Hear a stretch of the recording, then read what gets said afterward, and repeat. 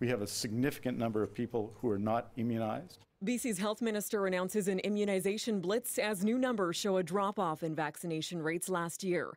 82% of seven year olds had their measles shots in 2018. That's down from nearly 90% the year before.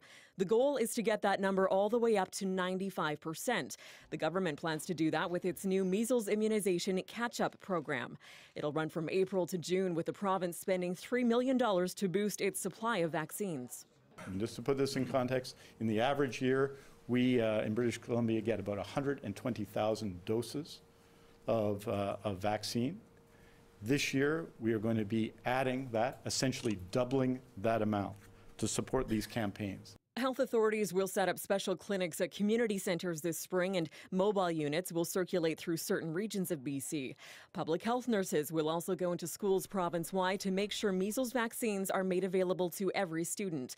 It's an initiative being welcomed by many. I think it's an interesting approach to, to do it in schools. I kind of find it surprising that the schools allow unvaccinated kids to go in the first place. But some say the province is interfering where it shouldn't. I'm very much a believer that people should be able to make their own choice about vaccinations, and I would like to keep uh, the government out of it. He has three young children and says parents should not be forced into a decision either way. I've chosen for sure to delay the vaccination process with my kids.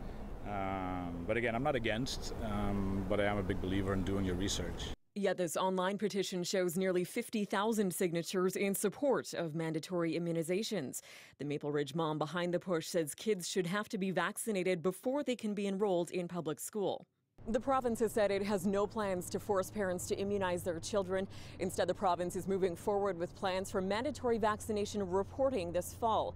The registry will blanket all public and private schools in BC and will be in place for the start of the next school year in September. Tanya Fletcher, CBC News, Vancouver.